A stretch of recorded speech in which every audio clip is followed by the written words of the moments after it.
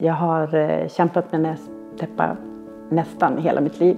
Tidigare så var det ju, kände man, man vakna, hade vaknat flera gånger på natten och kände sig liksom täppt och mycket nässpray Jag använde jag hur mycket som helst för att kunna sova.